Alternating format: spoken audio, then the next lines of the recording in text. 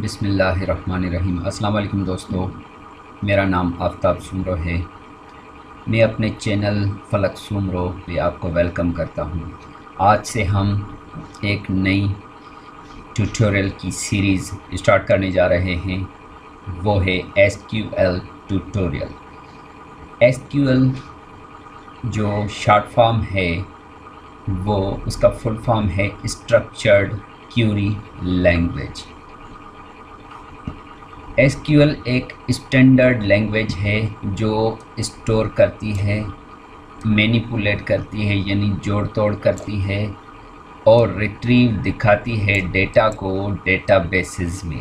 यानी जब भी हम कोई डेटाबेस बनाते हैं तो उसको देखने के लिए उसको डेटाबेस को जोड़ तोड़ करने और उनको स्टोर करने, उनको डिलीट करने उनको मुख्तलफ़ तरीक़ों से देखने व्यू करने और परखने की जो टेक्निक्स होती हैं, जो फ़न होता है, वो एस क्यू एल में सारा समाया हुआ होता है। हम इस लैंग्वेज को समझने के लिए, सीखने के लिए वही W three schools dot com की वेबसाइट का सहारा लेंगे।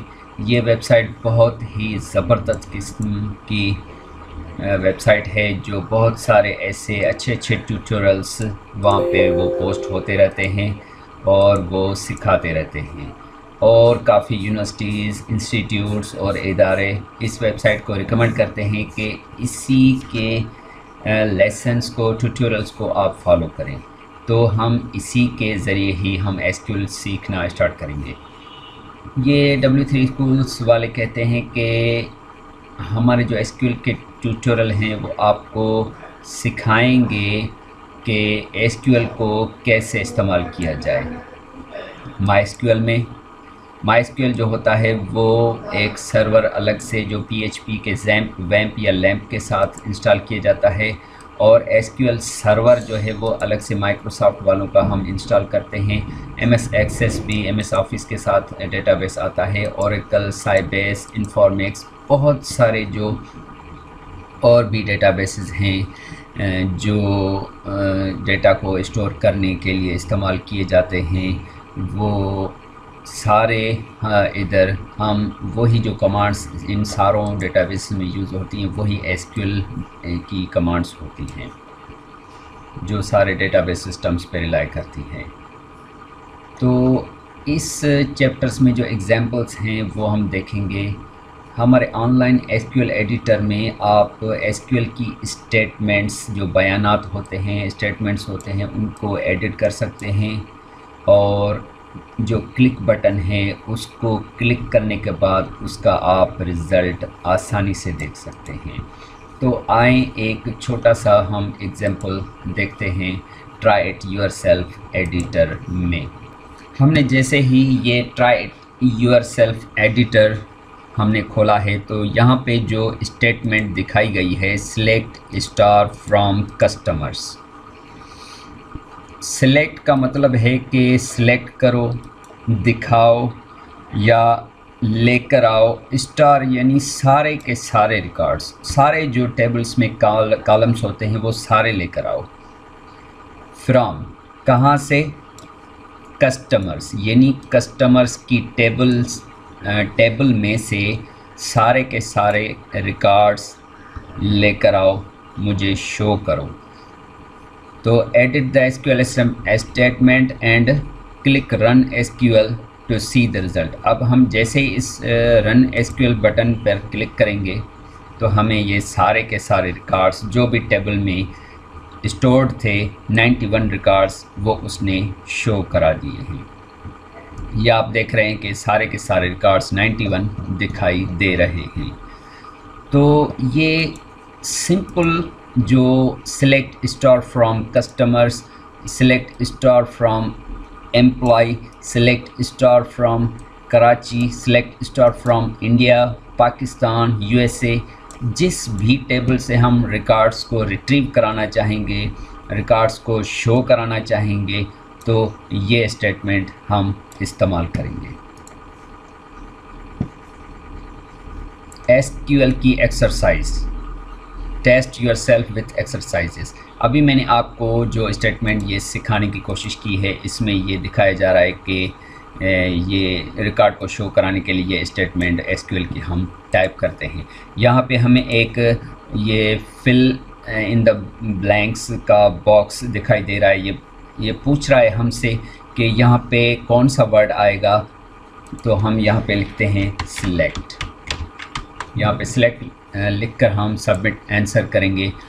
तो हमारा जो आंसर होगा वो शो होगा या यहाँ पर हम सबमिट करेंगे। ये करेक्ट करेक्ट आपने सही जवाब दिया है। और उसके बाद एस के कुछ एग्ज़ाम्पल्स हैं उनके कुछ क्विज़ हैं और कुछ और चीज़ें हैं जो हम आगे चल के इनको देखेंगे। उसके बाद जो एस uh, का इंट्रोडक्शन है introduction to S Q L S Q L is a standard language for accessing and manipulating databases जैसे मैंने आपको प्रीवियसली बताया कि ये एक स्टैंडर्ड लैंग्वेज है जो रिकॉर्ड्स को एक्सेस कर सकती है उनको तोड़ जोड़ कर करके हमें डेटाबेस में से शो करा सकती है। What is S Q L S Q L stand for structured query language ये स्ट्रक्चर्ड क्यूरी लैंग्वेज का जो एस क्यू है, वो एक्रोनम है या एब्रीवेशन हम कह सकते हैं। SQL lets you access and manipulate databases SQL आपको यानी डेटाबेस तक रसाई हासिल करना और तोड़ फोड़ करने की इजाज़त देती है।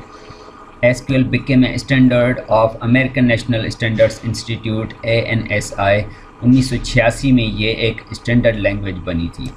And of the International Organisation for Standardisation ISO in 1987 और उन्नीस सौ सतासी में ये आईएसओ की एक स्टैंडर्ड लैंग्वेज बनी थी। अब हम देखते हैं कि हम एसक्यूएल के ज़रिए क्या कर सकते हैं। SQL can execute queries against database database में से हम क्यूरीज uh, एग्जीक्यूट कर सकते हैं। यानी क्यूरीज जो होती हैं मुख्तल किस्म की, वो हम करा सकते हैं, जिसमें एड रिकॉर्ड करना, डिलीट करना, रिट्रीव करना, इंसर्ट करना और बहुत सारे ऑपरेशंस हम एस के ज़रिए कर सकते हैं। S can retrieve data from database. Database में से रिकॉर्ड्स को लाना, शो कराना हम एस के ज़रिए कर सकते हैं। एस के ज़रिए हम डेटाबेस में से रिकॉर्ड को दाखिल कर सकते हैं, नए रिकॉर्ड को हम एस के ज़रिए रिकॉर्ड में तब्दीली अपडेट कर सकते हैं। हम रिकॉर्ड्स को डिलीट या ख़त्म कर सकते हैं। हम नए नए रिकॉर्ड्स इंसर्ट कर सकते हैं डेटाबेस में से। और हम टेबल्स में जो रिकॉर्ड हम क्रिएट करते हैं, वो डेटाबेस में करेंगे।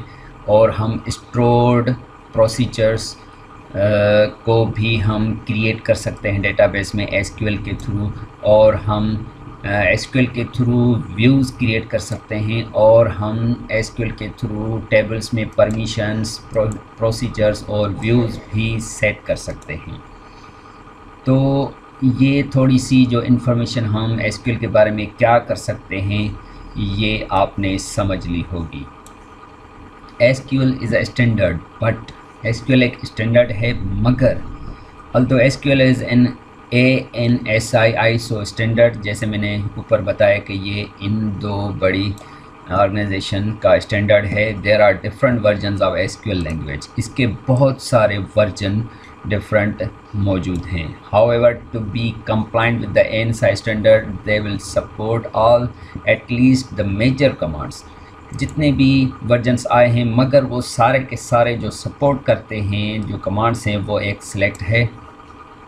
अपडेट कमांड है, डिलीट है, इंसर्ट है और जो वेयर क्लास है, इन सारों को एक ही मैनर में वो सपोर्ट करती है। Using SQL in your website. आप अपनी वेबसाइट में एसक्यूएल को कैसे इस्तेमाल करेंगे? To build a website that shows data from a database you will need. आपको डेटाबेस में डेटा को शो कराने के लिए आपको क्या ज़रूरत होगी? An R D B M S database program relational database management system जैसे कि M S access S Q L server और माई की ज़रूरत पड़ेगी। आपको सर्वर साइड स्क्रिप्टिंग लैंग्वेज को इस्तेमाल करने के लिए आप पी एच पी और ए एस पी यानी एक्टिव सर्वर पेजेस को इस्तेमाल कर सकते हैं। एसक्यूएल को इस्तेमाल करने के लिए आपको डेटा चाहिए होगी। एच और CSS भी इस्तेमाल करने होंगे जो आप पेज को स्टाइल करेंगे या डिज़ाइन करेंगे। R D B M S क्या है? R D B M S stand for relational database management system R D B M S is the best of S Q L वो S Q L के बुनियाद है। और हर जो modern database system होते हैं, जैसे कि M S S Q L server I B M D B two Oracle my S Q L and Microsoft access ये सारों में ये R D B M S use होता है। डेटा जो R D B M S में store होती है डेटाबेस ऑब्जेक्ट के थ्रू उनको टेबल्स कहा जाता है। एक टेबल जो होती है, वो कलेक्शन होती है डेटा की एंट्रीज़ की और वो मुश्तमल होती है कॉलम्स और रोज़ पे। जैसे ये कॉलम होते हैं और ये रोज़ होती हैं। कॉलम्स वर्टिकल होते हैं और रोज़ हमारी हॉरिजेंटल होती है। जैसे कि मैं प्रीवियस आपको बता चुका हूँ तो दोस्तों, ये छोटा सा इंट्रोडक्शन अबाउट द एसक्यूएल था जो मैंने आपको समझाने की कोशिश की है। मैं उम्मीद करता हूँ कि आपको ये अच्छे तरीके से समझ आया होगा। आप इस पर ज़्यादा प्रैक्टिस करें डब्ल्यू थ्री स्कूल स्टार्ट काम की वेबसाइट खोल के इसको रीड करें अंडरस्टैंड करें। अगर कोई बात आपको समझ में नहीं आ रही हो तो हमसे कमेंट बॉक्स में आप पूछ सकते हैं। तो दोस्तों, मिलते हैं अगली वीडियो में। अल्लाह हाफ़